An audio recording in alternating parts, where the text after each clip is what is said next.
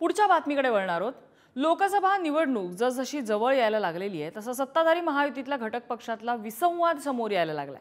लोकसभेच्या जागा वाटपावरनं तिन्ही पक्षात असलेले मतभेद समोर यायला सुरुवात झाली आणि याचा प्रत्यय रायगड जिल्ह्यात येतोय. रायगड लोकसभा मतदारसंघावर तिन्ही घटक पक्षांनी दावा केलेला आहे. त्यामुळे मतदारसंघ कुणाच्या वाट्याला जाणार हे पाहणं औत्सुक्याचं असेल.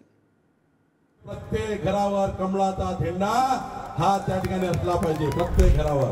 रायगड. ह्या तर आपण लढवणारच आहोत. लोकसभेचा उमेदवार हा शिवसेनेचाच उमेदवार असावा. जागा एक आणि दावा तीन पक्षांचा. अशी स्थिती रायगड लोकसभेसाठी निर्माण झाली आहे. कारण अजित पवार गटाकडे असलेल्या रायगड लोकसभेवर मित्र पक्षानेच दावा ठोकलाय. खासदार सुनील तटकरेंविरोधात भाजपसह शिंदेच्या शिवसेनेनं आता आपले दंड थोपाटले.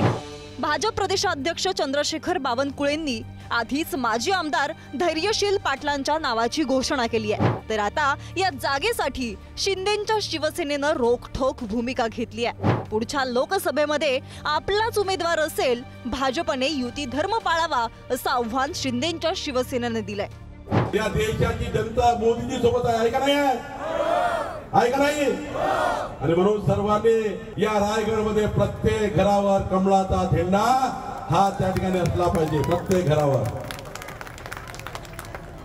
तुम्ही मदत करणार काही धरीशीलला प्रत्येक घरावर कमळाचा झेंडा लागेल की नाही?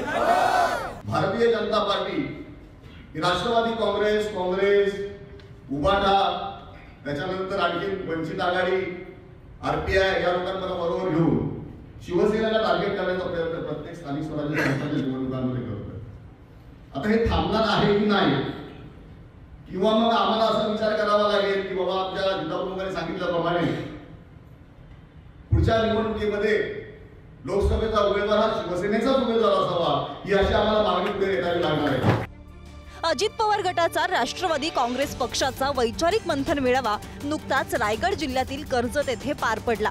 यावेळी रायगडसह चार लोकसभा मतदारसंघांवर राष्ट्रवादी काँग्रेसने दावा सांगितलाय. पक्षाचे प्रदेशाध्यक्ष खासदार सुनील तटकरे हे या मतदारसंघाचे विद्यमान खासदार आहेत.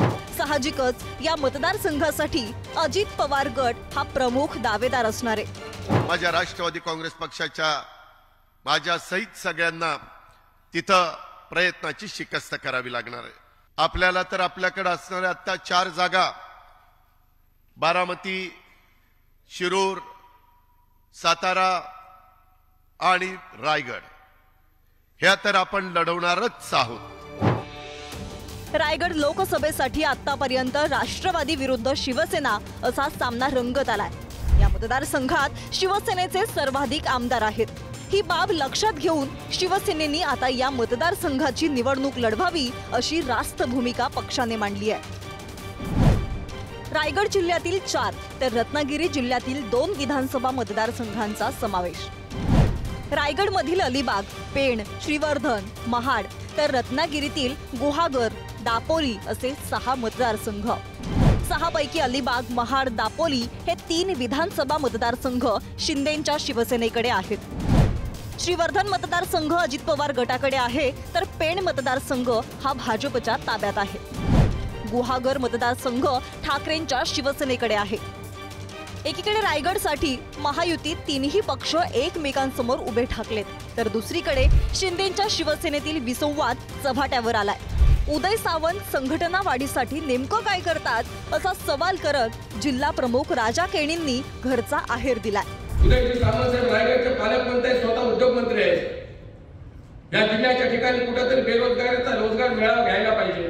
आणि बेरोजगारीचा प्रश्न आहे कुठे तर तो सोडवण्यासाठी आपण प्रयत्न करायला पाहिजे. रायगडचे पालकमंत्री उदयजी सावंत साहेब आहेत. संघटना वाढीसाठी ते कधी येतात कधी जातात. परंतु संघटना वाढीसाठी कुठल्याही पदाधिकाऱ्यांची एकत्ररित्या बैठक घेतली नाही. एका पदाधिकाऱ्याचा जर काही गैरसमज झाला असेल तर मी त्या जिल्ह्याचा पालक आहे. तो दूर करण्याचा मी प्रयत्न करेन. परंतु वैयक्तिक काम झालं नाही.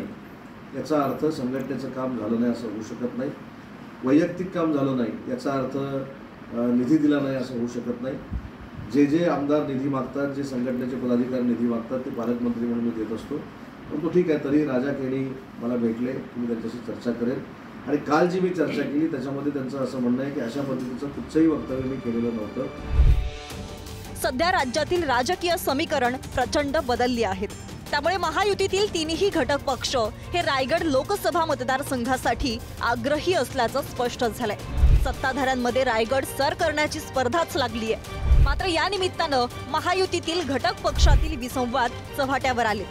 त्यामुळे रायगड लोकसभेची जागा नेमकी कुणाच्या पारड्यात पडणार हे पाहणं तितकंच महत्वाचं ठरणार आहे. सागर जैनसह सूरज बोरावके पुढारी न्यूज.